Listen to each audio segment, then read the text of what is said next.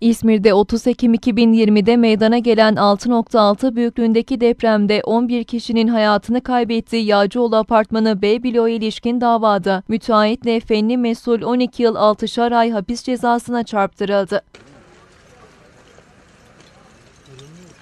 İzmir 11. Ağır Ceza Mahkemesi'nde görülen duruşmaya tutuklu sanık müteahhit Ş.A. bulunduğu cezaevinden ses ve görüntü bilişim sistemi aracılığıyla katıldı. Tutuksuz sanık da duruşmada yer almadı. Sanık avukatları bilirkişi raporlarının çelişkiler barındırdığını ve raporu kabul etmediklerini belirterek binanın dışarıdan müdahale sonucu yıkıldığını ve müvekkillerinin suçsuz olduğunu savundu. Tutuklu sanık müteahhit binaya haricen müdahale olduğunu, binanın yıkılmasında kusur olmadığını savunarak tahliyemi ve beraatimi istiyorum şeklinde savunma yaptı. Mahkeme heyeti iki sanığın bilinçli taksirle birden fazla kişinin ölümüne ve yaralanmasına neden olma suçundan 12 yıl 6'şar ay hapis cezasına çarptırılmasına, Şe'anın da tutukluluk halinin devamına karar verdi.